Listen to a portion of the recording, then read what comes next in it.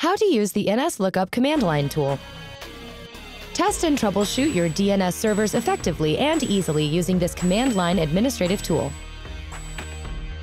You will need installed TCP ICP protocol and a specified DNS server.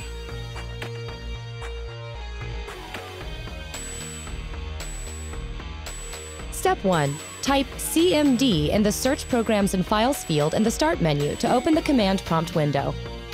Step 2. Type in appropriate syntax at the command prompt to run nslookup.exe. This will initially return IP addresses for the DNS server from which you are working. To run in interactive mode, type nslookup. To run in non-interactive mode, type in nslookup, option, hostname, server. Step 3. Generate a list of commands by typing help or a question mark at the command prompt.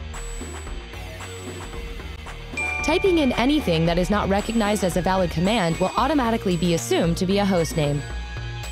Step 4. Look up different data types by typing set type or set query type at the command prompt. Step 5. Type the command server or L server to switch to another name server. Step 6. Transfer an entire zone by typing the command ls.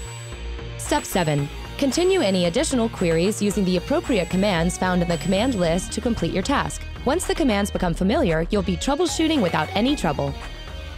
Did you know?